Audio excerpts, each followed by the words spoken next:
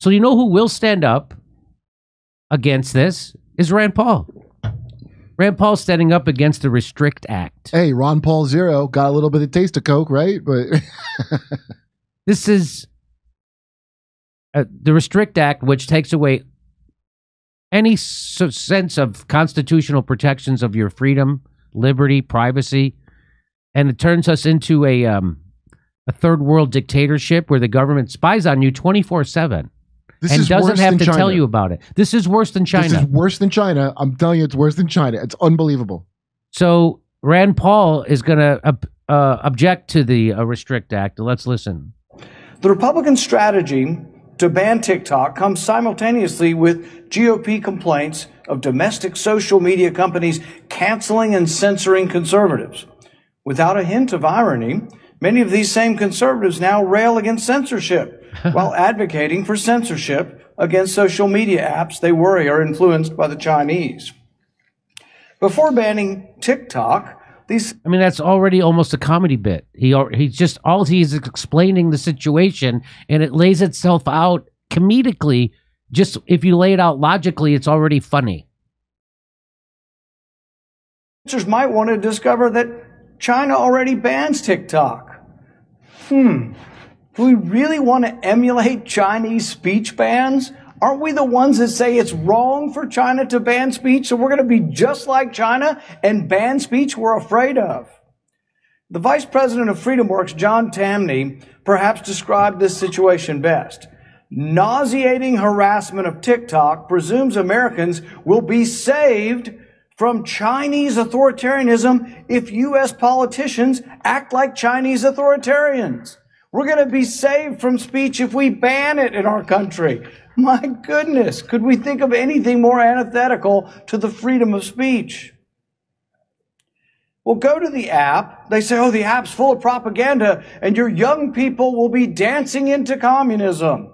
Well, go to the app and search for Falun Gong, the anti-communist religious sect that is persecuted in China. Go to TikTok and search for videos advocating Ta- Taiwan's independence, criticism of Chinese President Xi Jinping. Videos are all over TikTok that are critical of official Chinese positions. That's why TikTok is banned in China. Do we want to follow China's lead in banning speech? We should not let fear of communism to cause us to ignore our First Amendment protections of speech. This legislation violates not only the First Amendment of those who own TikTok, many of whom are actually Americans, not Chinese, but it also violates the First Amendment rights of the millions of young Americans who use this social media app. I ask the American people, do you want Joe Biden to be your censor? Do you want to give unlimited power to any president, regardless of, of party, to decide who is our adversary and which uh, countries, and then which countries? There's not even a list of what percentage. What if, what if somebody, what if the Chinese own 1% of a company or 10% of a company? One of the bills before us would allow the Department of Commerce to decide there's five countries they list that are adversaries. These are big countries that have a lot of interaction with our countries, with our country already. Decide which country, in addition to the five. The Department of Commerce can designate a country as an adversary, but then they can designate a company. But there's no specific. Does do the do the new people that are designated to be an adversary have to own 100% of the company, 50% of the company, 1% of the company? This is a crazy gift of power to one person. And I don't care which party they're in, it's a huge mistake. Rand Paul getting it 100% correct. And all he's doing is just telling you the situation as it is. And it turns out it's a logical argument that's waterproof and it's funny. That's how that's how good of an argument it is. It's funny all by itself. You don't even have to try to make it funny. Uh it Americans don't care. Uh, Barack Obama repealed habeas corpus meaning that they can put you in jail without a trial forever. That's called inde- indefinite detention. And all they have to do is the government has to say, hey, man, you're a terrorist. And you can be, you know, like at DAPL, when they were protesting the pipelines, they, were- they called those protesters ecological, environmental terrorists. Yeah. Mm-hmm. So now they can throw you in jail without a trial forever. if that was if those truckers in Canada were Americans, they would have called them terrorists. They're Yeah, right. economic terrorists because they're shutting down our economy. Right. They're economic terrorists, so they would throw them in jail without a trial forever. Wait, but we blew up Nord Stream. That wasn't terror. That's uh, not. gonna- oh, okay. No, that's good old American Christian stuff.